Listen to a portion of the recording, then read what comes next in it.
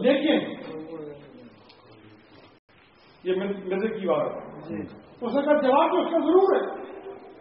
लेकिन मैंने इन दावत देने वाले मुंतजमीन को ऐसे इख्तलाफी मसाइल पेश करने की इजाज़त न दी थी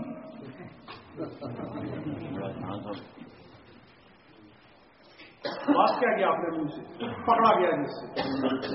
मैंने अपने मुंतजमीन को ऐसे इख्तलाफी मसाइल कैसे इख्तलाफी खत्म नबूत वाले। यानी खत्म नबूत का मसला उनके नज़दीक इख्तलाफी है। अच्छा इसकी इजाज़त न दी थी क्या उसने कहा कि ऐसे इख्तलाफी मसाइल की इजाज़त थी हर साहब खड़े थे आपने खड़े होकर फरमाया तोहिद नबूत के इस दीनी सवाल को कोई मुसलमान इख्तलाफी नहीं कह सकता।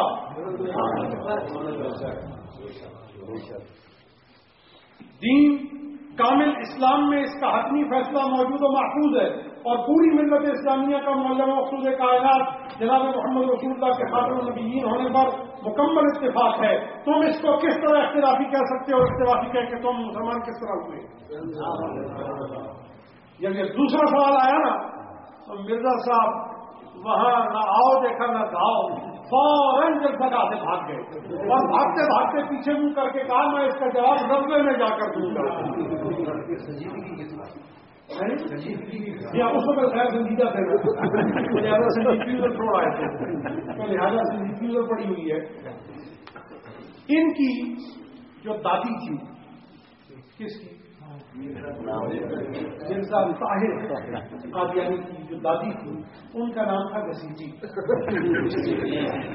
अभी अल्लाह ही जाने किसने घसीटी लेकिन थी घसीटी।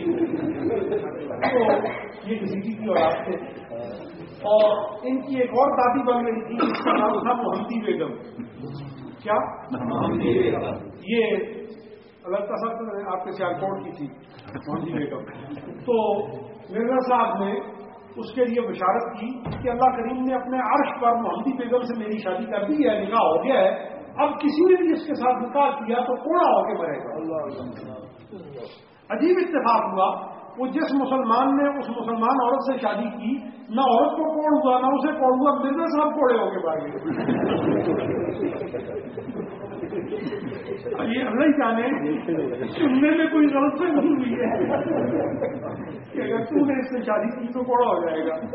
शादी भी ना हुई और कौड़े भी हो गए। तो इस बात से ये ऐसे थे। और अताल्ला शाह बुखारी उनकी एक बात सुनाया करते थे। कहते थे, मिर्ज़ा साहब नीचे सलूका पहनते थे। सलूका जानते हैं। ये नीचे बुनियाद होती है, कपड़े की लोग बना के पहनते हैं। बड़े बड़े जेब होते हैं, जिनके पास ज़्यादा सामान होता है, रखने के लिए वो पहन लेते हैं। तो सलूका मिर्ज़ा साहब पहनते थे। उसके दाएँ भी जेब होता है बाएँ भी जेब होता है, फिर कुछ अंदर भी जेब होते हैं। लेकिन ये दाएँ बाएँ जेब की आपको हिकायत सुनाता हूँ। तो मिर्ज़ा साहब सलूका पहनते थे। बुनियाद, कपड़े की बनी होती है उसको। जाटवी ज़ुबान में सलूका कहते हैं। तो नीचे बुनियाद थी, दो जेबों वाली। एक जेब में मिर्ज़ा साहब गुड़ रखते थे। और दूसरे जेब में जो गुड़ इसलिए रखते थे, आदमी की बीमारी थी उन्हें कि हर चीज़ हजम नहीं होती थी? तो हजम करने के लिए गुड़ खाते थे। दूसरे जेब में पटवानी के जो है वो डेले रखते थे उनके सलसलबोल की तकलीफ़ थी। हम अगर पानी के पेशाब के कपड़े आते थे तो उनको सुखाने के लिए इस्तेमाल करते थे। मिर्ज़ा साहब कहते हैं, अक्सर मुझे गलतफहमी हो जाती है, मैं गुड़ की जगह पटवानी इस्तेमाल कर लेता हूँ और पटवानी की जगह गुड़ हूँ। इस वास्ते? जो आदमी छोटी जगह पटवानी खा जाए और पटवानी की जगह गुड़ इस्तेमाल कर दे ऐसे बदलाव को और ऐसे उल्लू के पटले को कोई अगर नहीं समझता है तो उससे बड़ा दयूस कोई नहीं हो सकता। तो इस वास्ते ये झूठे और झूठों पर खुदा की जान ये वाक्य है उन्नीस अप्रैल उन्नीस और मेरा भाग्य कोई जवाब न हुआ। ये पहला मौका है कि किसी मर्द मुजाहिद आरिफ बिल्ला ने किसी कादियानी के रूबरू ऐसे बात की। आला हज़रत ताला अलैहि ने भी जो मिर्ज़ा से मामला किया है, वो सवालात और किताबों पर वो पैगाम और किताबों पर मुश्तमिल था। रूबरू कोई बात नहीं थी। हज़रत साहब अलीपुर शरीफ वालों ने भी जो मामला किया, वो भी पैगामात पर मुश्तमिल था। रूबरू बात नहीं थी। रूबरू अगर बात हुई है तो ये शेर खुदा के नायक मुहदे से हजारवीं की बात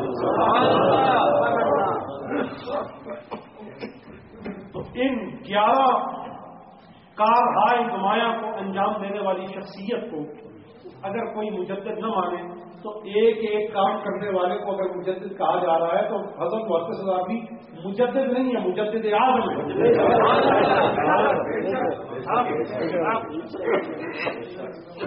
इस वास्ते हज़रत साहब के नाम के साथ मुजद आज़म लिखना आपकी खिदमात के एतराफ के तौर पर लाजिम इस वास्ते ये आज की इस रात की नशिस्त में मैंने ये चीज़ें बयान करना ज़रूरी समझी ताकि आप लोग इसको समझ लें कि आपके शेख कामिल का क्या मतलब अल्लाह करीम हमें इन महबूबा ने बारगाह से अपना मज़बूत रिश्ता, अकीदत, मोहब्बत और इकतसाब फैज का कायम रखने की तोफ़ी पता तोफ़ी अब आप नवाफिल भी अदा कर लें। हो सके तो सलात तस्वीर भी पढ़ लें और थोड़ी देर के लिए अपनी पुष्ट भी ज़मीन से लगा लें। उसके बाद फिर ताकि ताज़ा दम होके कल की महफिल के लिए आप तैयार हो जाएँ। इन ताला, अल्लाह के हदूद ये रजा है कि खाल मालिक के कायनात हमारा यहाँ इकट्ठा होना, बैठना, कहना, सुनना, अपनी रिजा के मुताबिक इसे करते हुए, अपनी बारगाह से दर्ज होता